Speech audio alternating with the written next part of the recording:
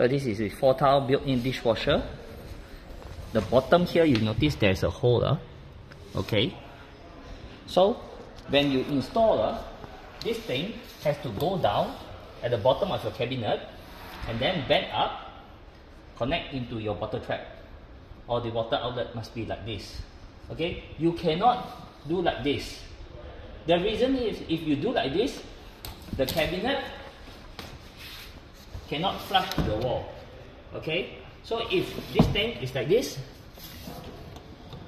uh, cannot flush, then your, your dishwasher will be protruding out. It will not be flush with cabinet. What we want is we want it to be down, either at the bottom, so that we can push in.